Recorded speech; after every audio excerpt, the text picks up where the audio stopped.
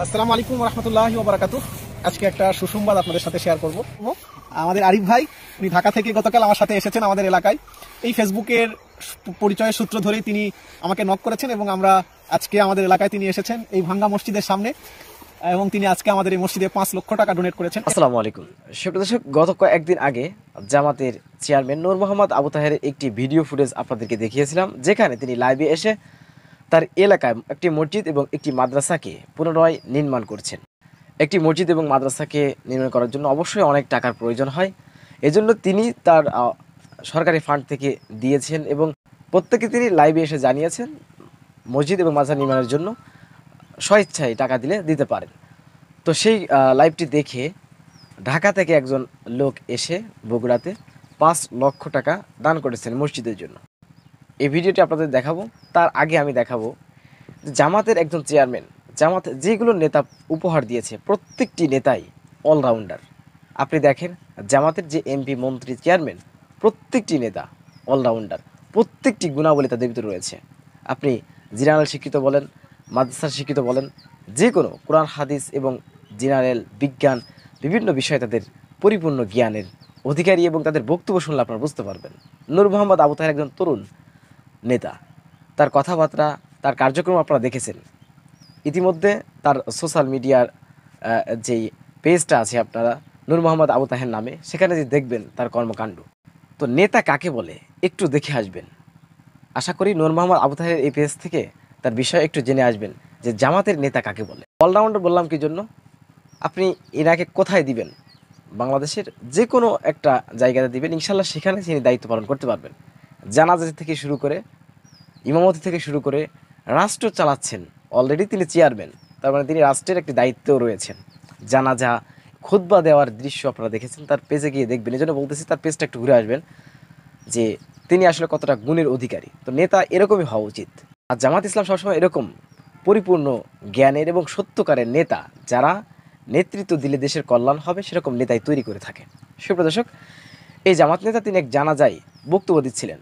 আপনি শুনে মনে হবে বড় কোনো আলেম, কোনো ডিগ্রিধারী কোনো আলেম। তো দর্শক, আমরা দেখে আসব জামাতের চেয়ারম্যান নূর মোহাম্মদ আবু তাহেরের তিনি যে জানা যায় বক্তব্য দিচ্ছিলেন, এরপর আপনাদের দেখাবো যে ঢাকা থেকে বগুড়াতে এসে নূর মোহাম্মদ আবু তাহের সেই এলাকায় মসজিদ নির্মাণের জন্য পাঁচ লক্ষ টাকা অনুদান নিয়ে এসেছেন। সুপ্রিয় দর্শক, চলুন সরাসরি আমরা প্রথমেই নূর মোহাম্মদ আবু তাহেরের জানাজায় দেওয়া বক্তব্যটি দেখে আসব। আজকে যারা উপস্থিত সম্মানিত ওলামাই কিরাম মুরব্বী কিরাম বিভিন্ন গ্রাম থেকে আগত সম্মানিত মেহমান বিন্দু পরিবারের সদস্য বিন্দু সম্মানিত বহুবাসা গ্রামবাসী।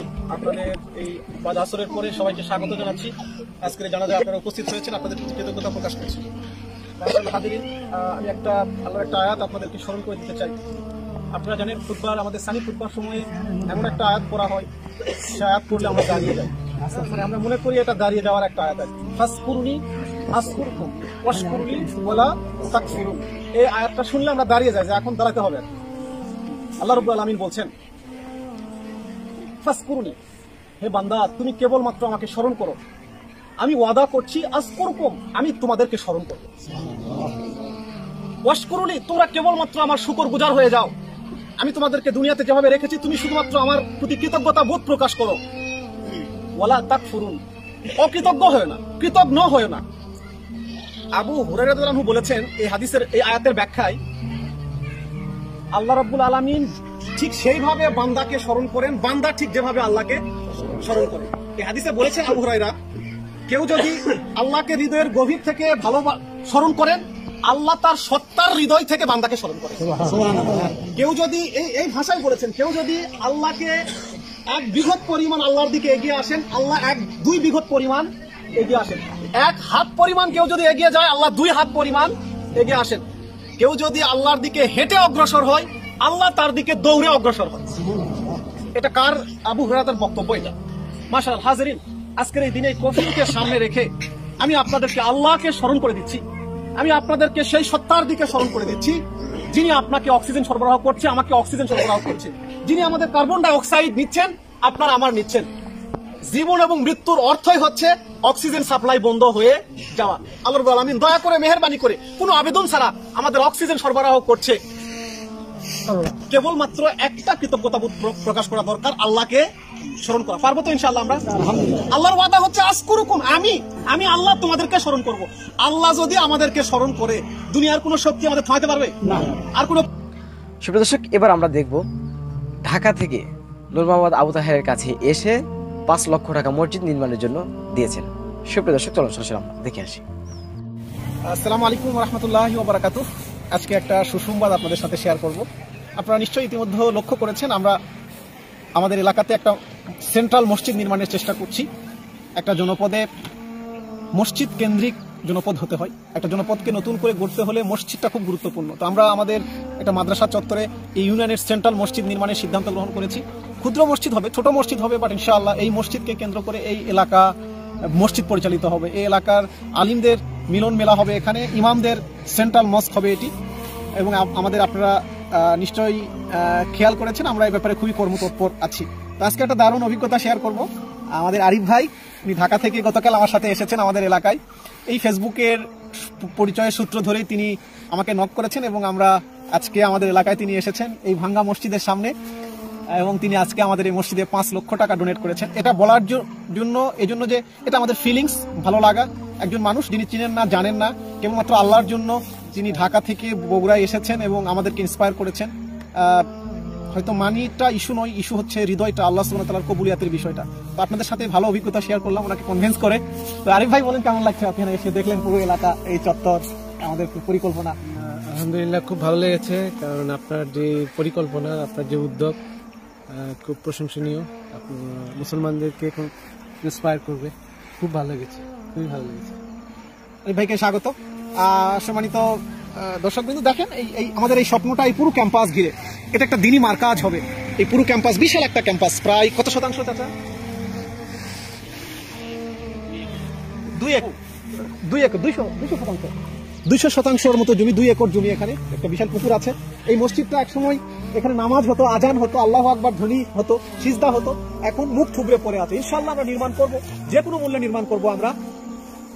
আমরা প্রচেষ্টা চালিয়ে যাচ্ছি, আপনারা দোয়া করবেন। তো ভালো একটা অভিজ্ঞতা শেয়ার করলাম। থ্যাংক ইউ ভেরি মাচ সালাম আলাইকুম। দেখে দাও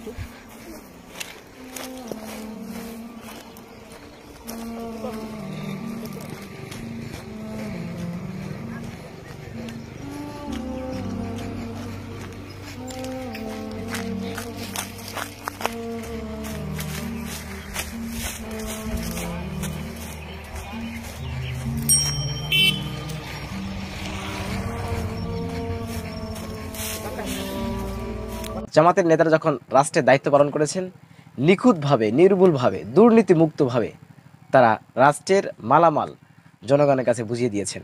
কোনো দুর্নীতি হয়নি এবং কেউ দেখাতে পারেনি। প্রমাণ করে অনেক চিরুনি তল্লাশি করা হয়েছে জামাতের নেতাদের দুর্নীতি খোঁজার জন্য। কিন্তু এক চুল দুর্নীতি কখনো খুঁজে পায়নি। এবং আপনি তাদেরকে দেন, মসজিদের মেম্বারে দাঁড়িয়ে দেন, আপনি জানাজা, নামাজের জন্য দাঁড়িয়ে দেন যে কোনো স্থানে জামাতে তাদেরকে দাঁড়িয়ে দেন। দেখেন, আপনি দেখবেন অলরাউন্ডার আমার চোখে, আমার দেখা মতে, আমি যেগুলো সম্পর্কে জানি, যাদের সম্পর্কে জানি, জামাত নেতাদের সম্পর্কে, আমি দেখেছি প্রত্যেকেই অলরাউন্ডার আপনাদের চোখে কি জামাত নেতারা অলরাউন্ডার অবশ্যই আপনাদের বলে আমার মন্তব্য কমেন্ট জানাবেন। সুপ্রিয় দর্শক সব সত্য নির্বিচাল তথ্য পেতে আমাদের চ্যানেল সাবস্ক্রাইব করে আমাদের সাথে থাকুন। আসসালামু আলাইকুম রহমতুল্লাহ বারকাত